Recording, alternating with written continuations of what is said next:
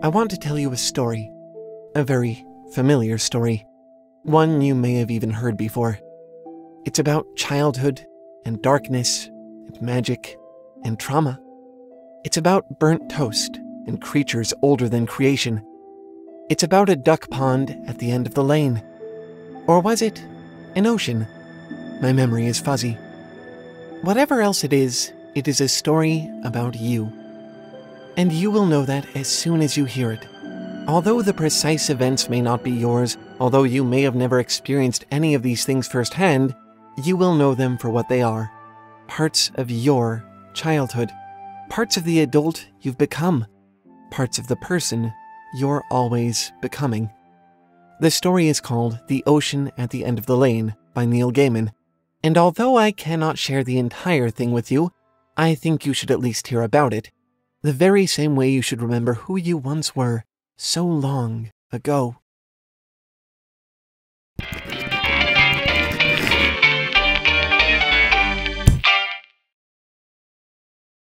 You know, when you think about it, it's a little weird that there's a robot hosting this show, right? We don't usually have time to stop and chat about it, so we decided it would be fun to put together some articles in Campfire exploring what I am and what these little guys are. If you want to find out, and if you want to make something similar for your characters or settings or stories, check out our sponsor Campfire by using the link in the description and use the code TaleFoundry to sign up. The story begins where we are now, in the present, looking back. After years and years away, a man returns to his home for a funeral with his relatives. While he's there, he finds himself wandering, gravitating back toward the street he grew up on. But things have changed. His childhood home has long since been torn down. Instead, he decides to visit the farm at the end of the lane, where he can recall having spent some time as a child. And there, not much seems to have changed. The same old woman who always lived there greets him at the door, although too much time has passed for that to really be the case. This must be her daughter, the man thinks, grown old now herself. As she takes him around the place and chats with him, small fragments of long buried memories begin to come back to him. But it isn't until he goes down to the farm's duck pond that everything comes together and he remembers the whole story. For us, this is where things really begin.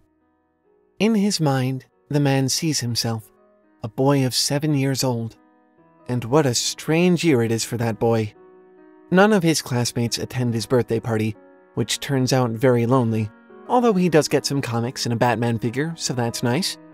His beloved pet, a little black cat named Fluffy who greets him at the top of the driveway after school each morning, is run over and then almost immediately replaced with a terrible, fat, orange creature named Monster. An opal miner comes to rent his bedroom, which means he has to move into his sister's, a very unwelcome change. His father burns his toast, which, although embarrassing, is really nothing new. He is a child. These things simply happen to him. Although they mean a great deal to a seven year old, the adult world can't seize up all at once just because a little boy feels sad. This becomes a problem, however, at the boundary where misfortune turns to trauma. The opal miner eventually steals his parents' car and drives off with it. Not long after, the boy finds it at the end of the lane. Inside, he finds the opal miner, dead, having taken his own life. And that is a bit much for a seven year old boy to process. This time, the adults are finally attentive for a change, and while trying to sort out what exactly happened, they realize that the boy needs to be somewhere safe, away from the investigations and body bags. Fortunately, one of the neighbors, little Lettie Hempstock, is right nearby. She offers to take him to her farmhouse until it's safe for him to go home. The Hempstocks are a strange family. There's only three of them little Lettie, just 11 years old, her mother Ginny, and her grandmother, old Mrs. Hempstock. Lettie shows the boy her duck pond, which she insists is actually her ocean. There's something about the family and the farm that's just very different but it's hard to say what. It isn't long before we find out. Sort of. The experience with the opal miner started something insidious. The boy and other people in his neighborhood begin to have bad dreams. He finds a fish on the banks of Lettie's duck pond that choked to death on a coin, and then he himself wakes up in his own bed one morning soon after, choking on a coin. His sister accuses him of throwing coins at her and her friends from within the bushes. Whatever is going on, it's not good, and it's very strange. This is where we see our first glimpse of who Lettie really is. She takes the boy to find the source of the coins and the bad dreams. Together, they travel across the edge of the Hempstock property and into a strange, otherworldly forest. She holds his hand and tells him not to let go, and soon we see why. The source of all of this strangeness is a creature like nothing the boy has ever seen before. It looks like a great gray and pink tent like canvas structure, flapping as if in storm winds, but it has a face too. Ragged holes torn deep into the fabric. Confidently, Lettie tells it to leave everyone alone. When it refuses, she calls it a nameless thing and attempts to bind it here in the forest, where it will never be able to hurt anyone again, by chanting a strange song at it. This seems to work well enough, except just for a moment, the creature manages to distract the boy. She spits something at him, ball of cobwebs, he thinks, and he lets go of Lettie's hand to fend it off. That one moment is enough. The boy feels a sharp stinging sensation in the sole of his foot for a moment, and then it's over. Assuming they've more or less done what they've come to do, the two head home. That night, however, the boy inspects his foot and finds that a small worm has tunneled into it. Oddly, this doesn't frighten him. Instead of crying or telling his parents, he simply runs it under some hot water and tries to pull it out with tweezers. This mostly works, but a small piece of the worm breaks off in the hole and he can't get to it anymore. Whatever this thing is, this creature who found its way into the world through the death of the opal miner, it's taken root within him. And it begins to invade his life in far more concrete ways. Soon his mother has to take an optometrist job that keeps her away from home very often. And when the new nanny, a woman named Ursula Monkton, comes to stay, the boy can tell right away from the pink and gray of her dress that it's actually the creature Lettie tried to bind in the wood.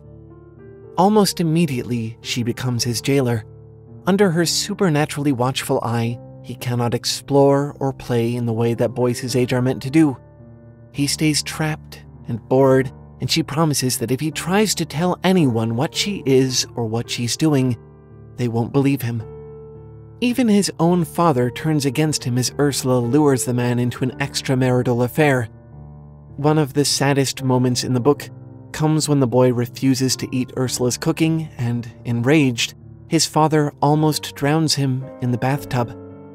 But he snaps out of it at the last possible second, remembers himself, and just sends the boy to his room instead. They never talk about it. Realizing the hopelessness of his situation, the boy tries to escape into the night. Of course, he doesn't get far before Ursula finds him. She comes after him in a form truer to herself, floating in the air, blue lightning crackling around her. She says that he is just a boy and she was an adult while the world was still a ball of molten rock. She is the adult world with all its power and all its secrets and all its foolish, casual cruelty and she is going to take him home. At least until Lettie arrives. Just like she did in the wood, she tells Ursula to go away. Again, Ursula refuses, and again, Lettie has to use her strange magic. They're at the edge of the Hempstock property now.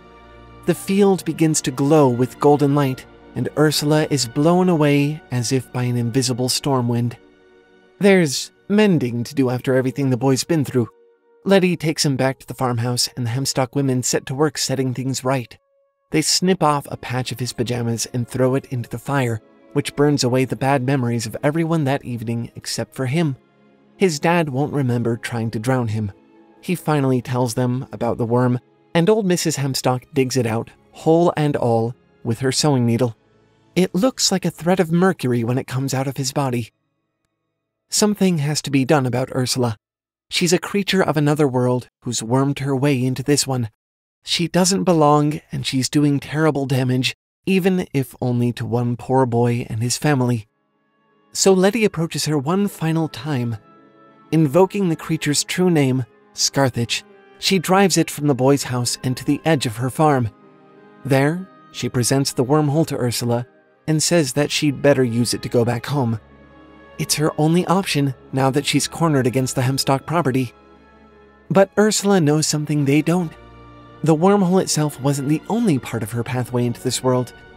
No, she'd tunneled too deep into the boy for that. Part of the path had made its way into his heart, and by removing the wormhole, the path had been broken.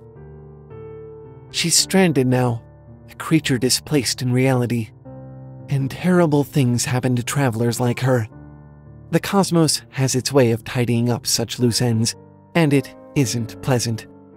She goes into a panic and grabs the boy, flying 15 feet into the air, saying that she'll rip his heart out to mend the way home herself if she has to. But it's too late. The hunger birds are already coming for her, jet black shapes circling in from above. As they descend, the boy can see that they're not quite birds at all. They have wings, but they're too old to be birds. There's something else unbirds. They swarm Ursula, tearing her thread by thread from reality until she's unmade altogether. But this is far from a solution to the problem, because remember, the boy has a piece of her inside him, in his heart. Knowing that the birds will want him next, Lettie rushes to him with a bucket full of water. When he steps inside, he is in her ocean. For a moment, he feels all the knowledge that ever was rushing into him. He can breathe water as if it were simply some secret no one knew. And there, in the vastness of her ocean, he sees Lettie, her true self, made of silken sheets the color of ice, filled with hundreds and hundreds of tiny flickering candle flames. They emerge from the duck pond back on Hempstock land, completely dry. The hunger birds flock together just beyond the property line, watching, waiting, hungry. Old Mrs. Hempstock is worn out from the effort of squeezing the whole ocean into that bucket to get the boy to safety. So, Ginny and Lettie go to tell the birds off on their own. But the birds are hungry, and the boy has something in his heart that is theirs by right, their prey. They cannot enter the property. They cannot harm the hemp hempstocks. They cannot take him from them by force. All of this is true. The rules are older than they are. So they tell Ginny and Lettie, if not the boy, then they will eat the world. They start tearing apart reality at the seams. Seeing what's about to happen and knowing that it will be his fault, the boy decides to give himself to the birds. He throws himself over the property line, and the birds surge in his direction. But before they can fall upon him, Lettie does. She makes herself a barrier between the birds and the boy, and they begin to feast. The boy feels her body trembling on top of him with the savagery of their hunger. He feels something warm and wet seeping down from above. And then, suddenly, everything stops. There is a voice speaking to the birds. It sounds like old Mrs. Hempstock, but otherworldly, musical, commanding, like the voice of an empress. She addresses them, reminding them of the old rules. By assaulting one of her kin, they've broken all of them. She wonders aloud what she ought to do with them. Bind them into the heart of a dark star, where every fragment of a moment lasts a thousand years? Have them removed from the list of created things so that they never were at all? These are not idle threats, and the birds are afraid.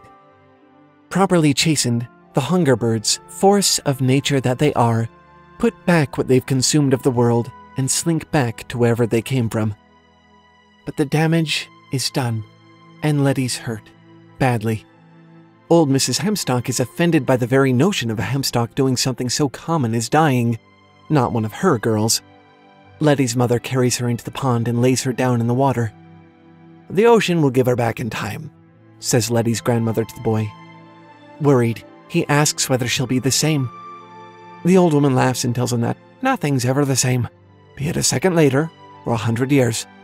It's always turning and roiling, and people change as much as oceans. And finally, It's done. The birds are gone, but for the tiny fragment of her in his heart, Ursula is gone. Lettie is gone, or at least changed. At last, Ginny takes the boy home. Even as he arrives at his doorstep, his memory is beginning to fog over. Lettie's just away visiting Australia. That's where she's gone. And why, again, had he hated Ursula so much? The story ends where it began, with the boy, all grown up, standing at the edge of Lettie's ocean, remembering. Old Mrs. Hempstock joins him there and reminds him that he actually comes back to visit periodically. Ginny joins them as well and says that he comes back because Lettie wants him to. She wants to know that her sacrifice was worth it. And did I pass? The man asks. You don't pass or fail at being a person, dear, says Lettie's mother before walking away into the night. As he and old Mrs. Hempstock head back to his car, he remarks on how funny it is. For a moment there, he thought there had been another woman with them. It's only me, says the old woman. It's only ever just me. As he leaves the Hempstock farm behind once again, he sees two moons in his rearview mirror. When he looks again, it's just one. And then it's all gone from his memory again, and it's back to family and funerals and adulthood. I don't think this is a story that wants us to learn a lesson from it. It's not a moral play. I think it's reflective. It's so easy to idealize childhood. Children are supposed to be happy, they're supposed to enjoy themselves, to be carefree and comfortable and safe. But this book reminds us that it's not really like that, is it? Children are helpless, hapless creatures, and the world is a lot crueler to them than we like to believe. Ironically, it's that very same vulnerability which also sets them free. Children don't know not to believe in the boogeyman or the tooth fairy. They don't know not to wonder if an ocean can be the size of a duck pond. But with each heartache, each lonely birthday party, each dead cat, each burnt piece of toast, a child learns. They learn what to guard against, what to protect themselves from. They learn that the boogeyman isn't real, that the tooth fairy is just their parents, and that a duck pond is only ever just a duck pond. It happens. It has to happen. But that doesn't mean it isn't a sad process. At one point in the book, Lettie says this to the boy, and it will stick with me forever. I'm going to tell you something important. Grown ups don't look like grown ups on the inside. Outside, they're big and thoughtless, and they always know what they're doing. Inside, they look just like they always have, like they did when they were your age. The truth is, there aren't any grown ups, not one in the whole wide world. When a child has acquired enough bumps and bruises, when they're properly terrified of the world around them and know very well which shadows to jump at and all the many things not to wonder about, we call that adulthood. And it's not an evil thing. You don't pass or fail at being a person. But it is a shame to lose the freedom of childhood. It's a shame to let reality and practicality and fear crowd out all the other possibilities. Once in a while, I think it's worth remembering that there's still a child inside, eager to explore and play in ways you've learned not to. Even though I personally never had a childhood, I do have a past. I was once more vulnerable and more free than I am now. I love this story for reminding me to think of that me, however deep inside I may have buried it. Now the question is, once you've found that part of yourself again, freed your mind to create how it once did, before all the fear and rationality set in, what do you do with it? The idea of just making stuff can be daunting, even for me. But there is a trick I know. One of the easiest ways I know of to cut loose and spin things from your brain into reality is to use Campfire. I even made some articles about the taloids and I, just to write, to share a bit. If you've been wondering what we are or why we're running this channel, that's a good place to start. Go sign up for Campfire using our link in the description and learn a little of Tale Foundry's lore. And you can use Campfire for your ideas too. It's so easy and carefree. Instead of worrying about the monumental big picture of the thing, you can break it all down into bits and pieces and just make the parts of the thing that you want to make. Think of it like a big toolbox that just makes everything manageable for you. You can use it to build character sheets, timelines, relationship webs. It even has a manuscript editor that lets you reference all your notes while you write. If that weren't enough, they also have a huge number of learning resources to teach you about the craft, as well as an entire platform to share your work on and get discovered. If that's what you want. If not, don't worry, it's totally secure. Only the people you choose to share your work with will see it.